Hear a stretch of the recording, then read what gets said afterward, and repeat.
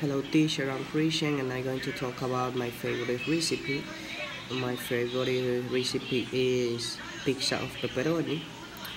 Uh, for this, the ingredients are tomato, one pizza mass, mozzarella, pepperoni, grated cheese, salami, and oregano.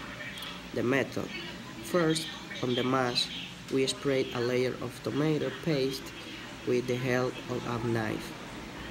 Then we placed a layer of mozzarella.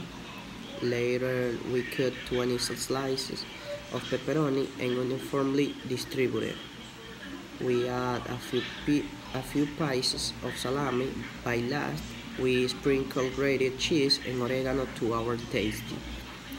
Uh, we bake for 10 to 20 minutes at 180 uh, and ready. I like uh, the pizza of pepperoni um, and this recipe is easily to make. Thank you.